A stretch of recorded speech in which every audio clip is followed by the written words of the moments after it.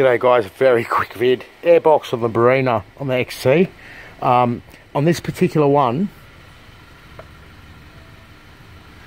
I just had to do a retake and see that it's 2001. But anyway, this particular Barina, seeing things or what? Um, this airbox has to come out. I've just for years been getting them in with this hose off uh, the other end of that popping off, that connector not um, that connector moving, sorry that one, and causing a bad signal.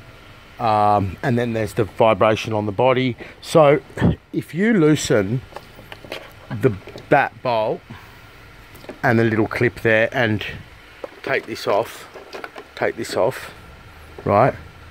Unplug that connector and um, remove it carefully off the mount here and here and clean all that up. That's how you do the airbox but it's just always like they're just always damaged. Um probably not in europe but in australia. Lots of damage lots of breakdowns and check engine lights from this. This car's flooding. I've got another one here at the same time.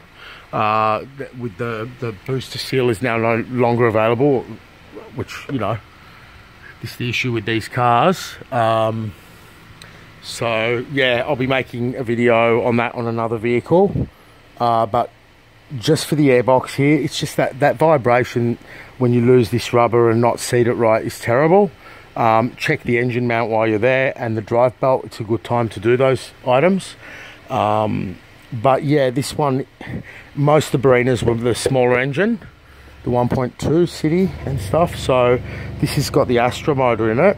I think it's a 1.6 um, yeah, but um, this is not a Barina I see often, you know. Um, very low miles. It's otherwise all right. There's no oil leaks uh, after all these years.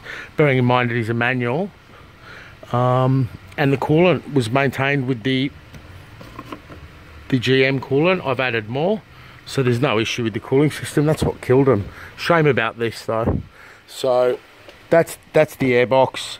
Phillips heads here, standard air filter but yeah like if you're wondering what the it's not an engine mount always it's just this thing rattling around.